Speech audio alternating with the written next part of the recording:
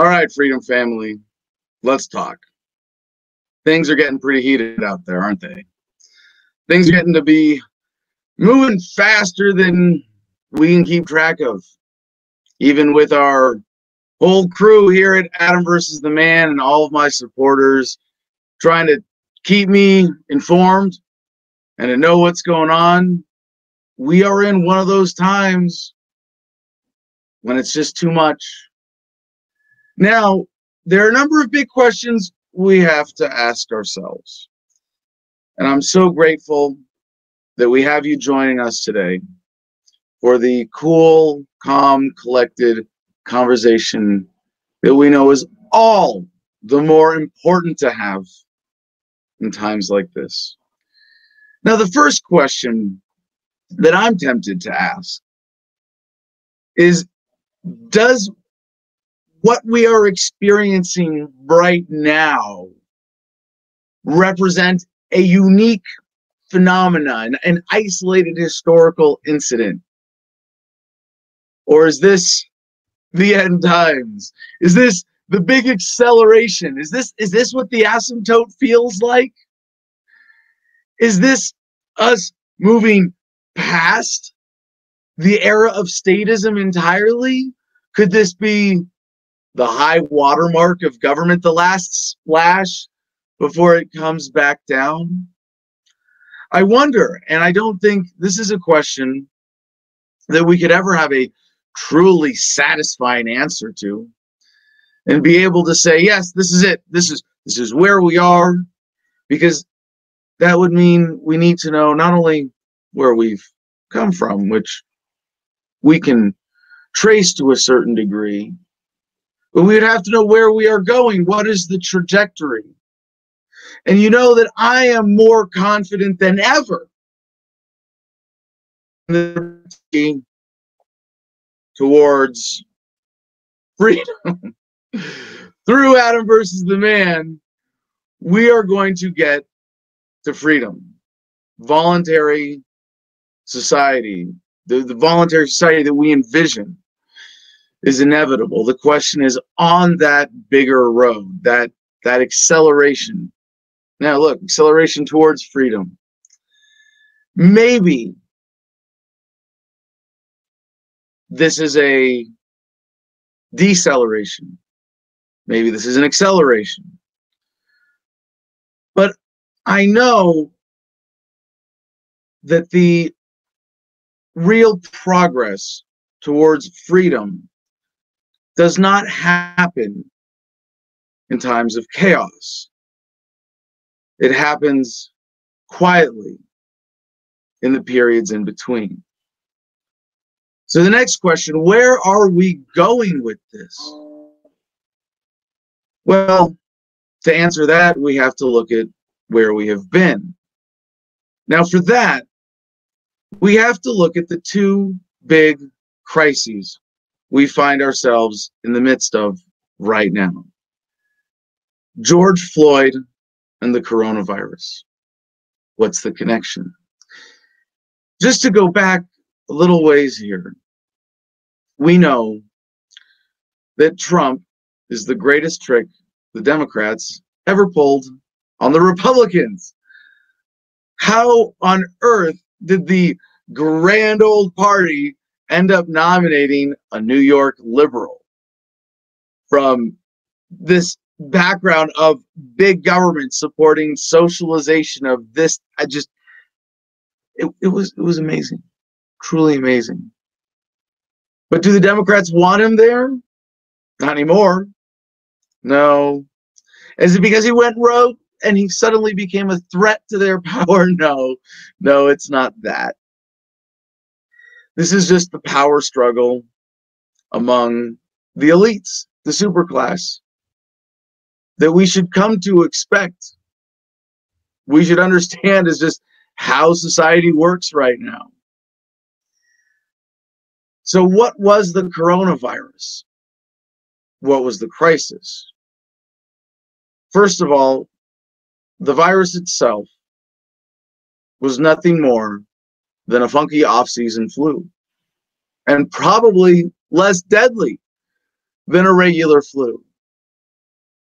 So, as a crisis, we know the real crisis is the forced unemployment crisis, not the virus itself.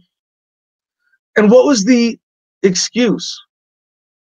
The death count that's come down over and over and over again. And now that it's down at a tiny fraction of what they were using to scare us into shutdowns and lockdowns and martial law and to giving up our power and to allowing them to rip us off, to have nine plus trillion dollars of liquidity into the market, that doesn't come from the magical money fountain people. That comes from us every time they create more money with the system. It devalues the dollars in your bank account in your back pocket.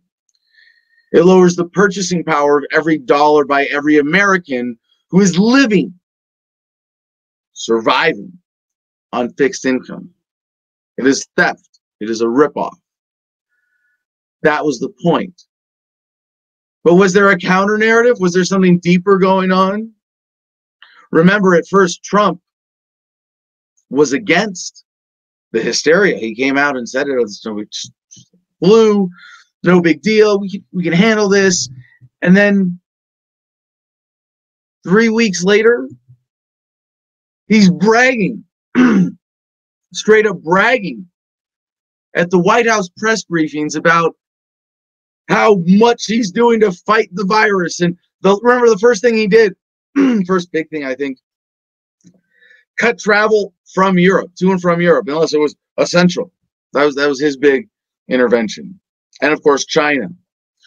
China, excuse me, need to go with the modern Trumpian pronunciation here.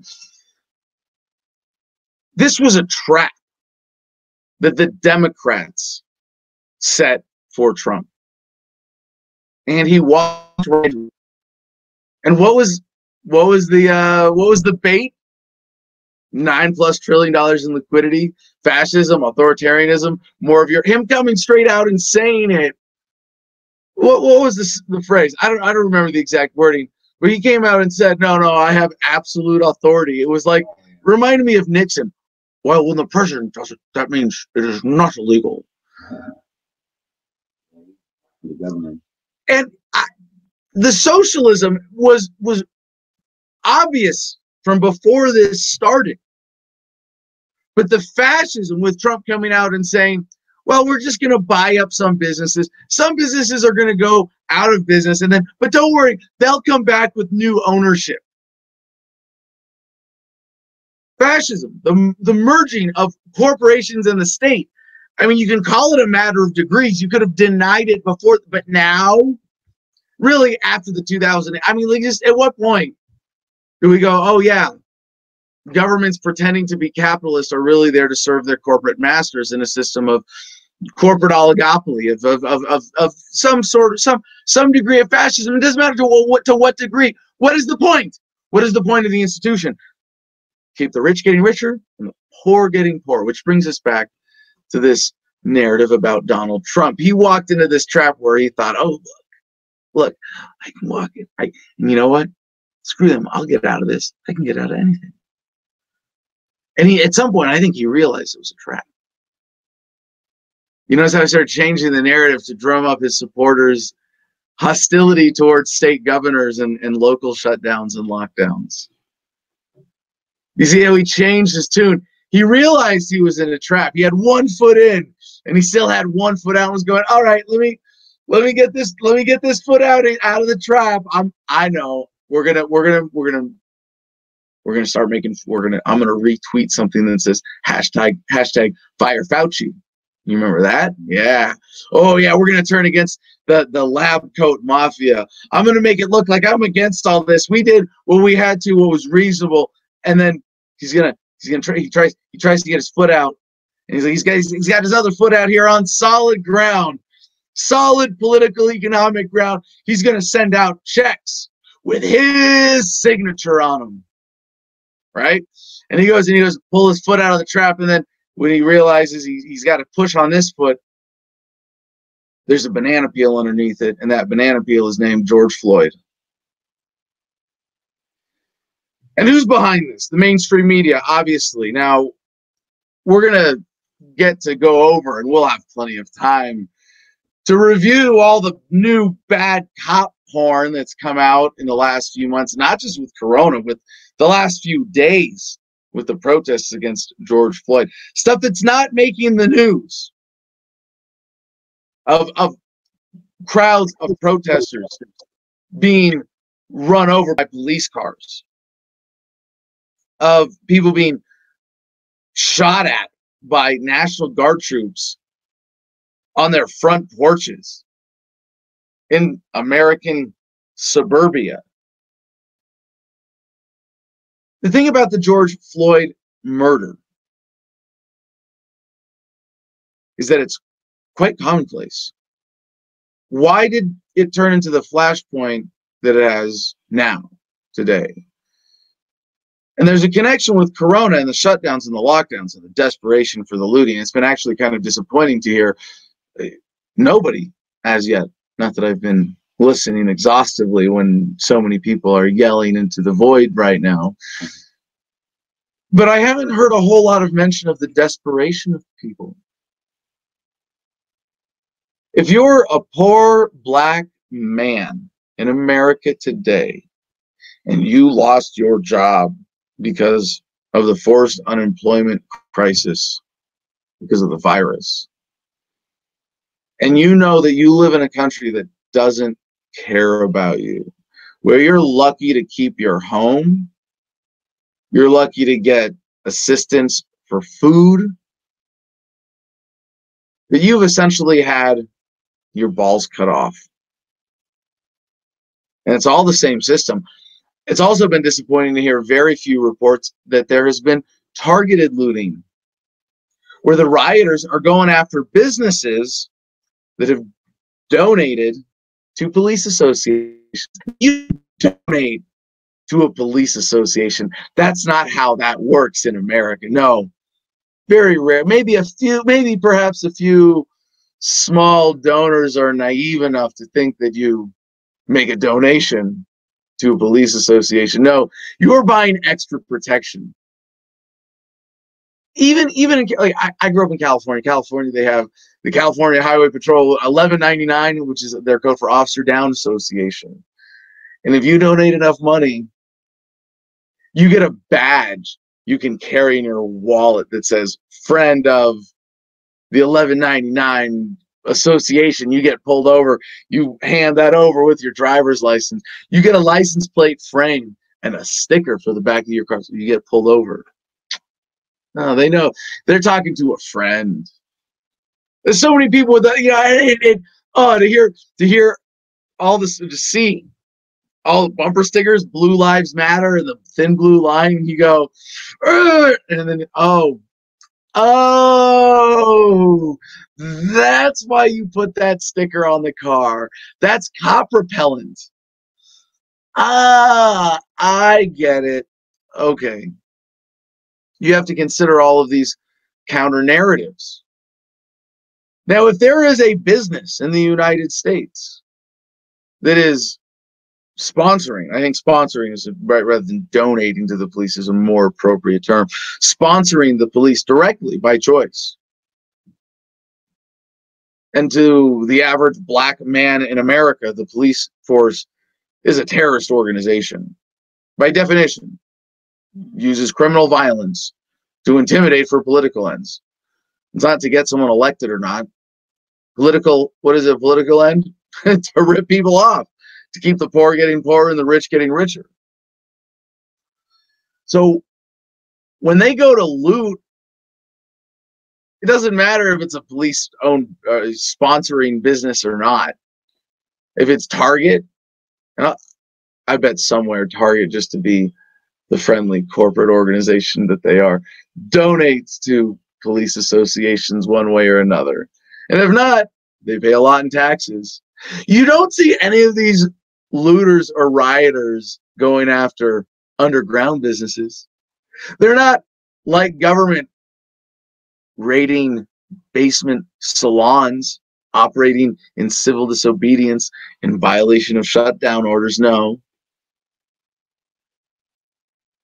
They are being terrorized today in the United States. And I would say, you know, everybody. Eh, it's not so much black versus white as rich versus poor. And not that the racial element is irrelevant, certainly.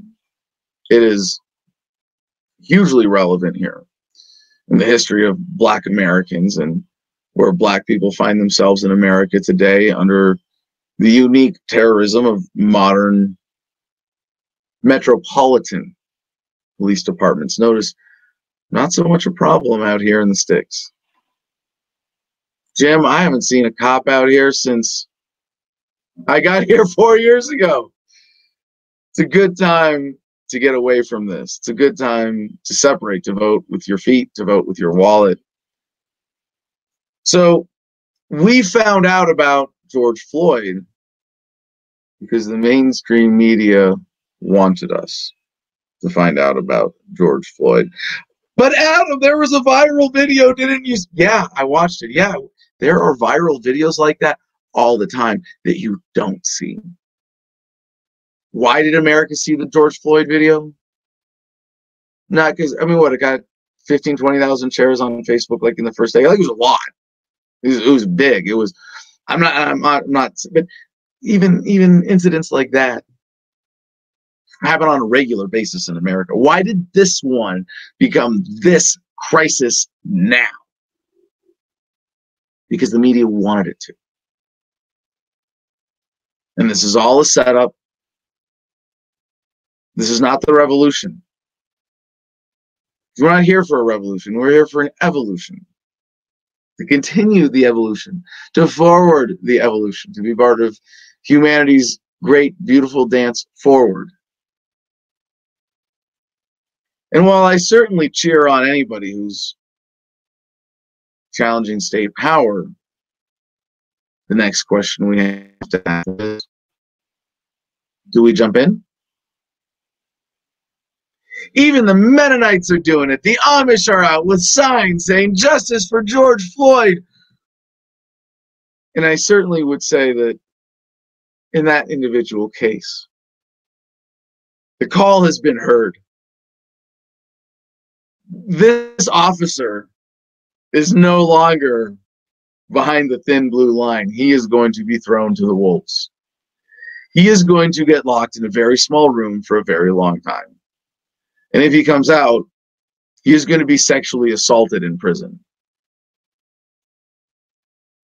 He's going to be in solitary the whole time in protective custody.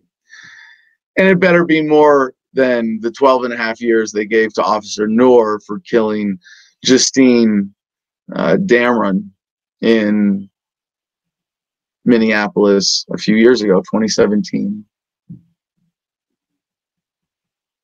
He had 12 and a half years for, for and that genuinely was an accidental. This was not. George Floyd, you could say it was careless. You know, is it is it murder one? Is it murder three?